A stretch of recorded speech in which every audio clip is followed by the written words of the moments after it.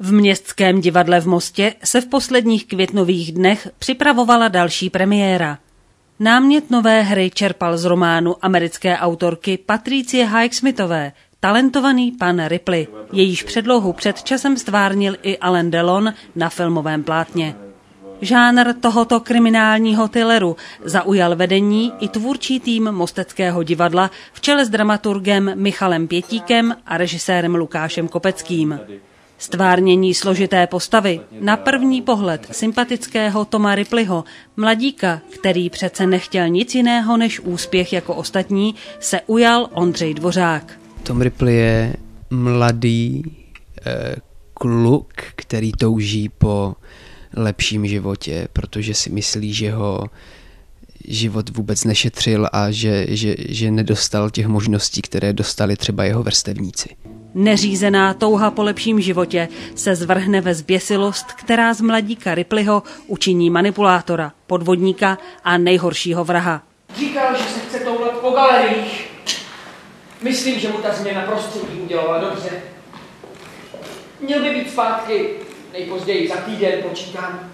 Takovému pokušení a podobné zvrhlosti jsme díky dnešnímu překotnému světu vystaveni my všichni. Tak mimochodem, mohl by si mi poslat nákresy posledních modelů Greenleaf? Rád bych je viděl, abych zůstal v obraze. Celou psychiku a nitro člověka, jenž se neplánovaně propadá čím dál tím hlouběji do lží, spletitostí a zrůdností zla, však není lehké pochopit, natož stvárnit.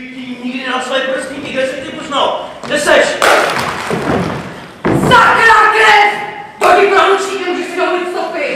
Tento titul jsme s eh, Michalem Pětíkem nasazovali právě na Ondřeje, protože jsme si říkali, že začíná hrát poměrně podobné typy a tak jsme mu jako dárek trochu chtěli dát něco úplně do protivky.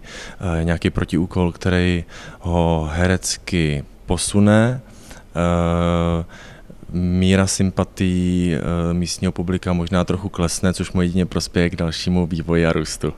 Viděl jsem film samozřejmě a ten je, pokud zná člověk už to téma a, a jako ví, o čem to je, tak, tak mu to dá ještě daleko víc ten film, než, než cokoliv jiného. Je to super, ale ne, nedá se dělat film na divadle, protože ve filmu jsou střihy, eh, mají tam na to čas, můžou si připravit celou tu scénu, tady musíme jít v kuse.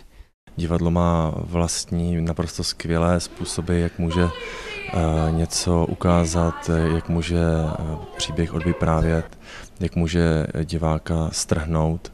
A to si myslím, že z toho, z toho to chceme využít, eh, tím, tímto jazykem chceme mluvit a snad i mluvíme.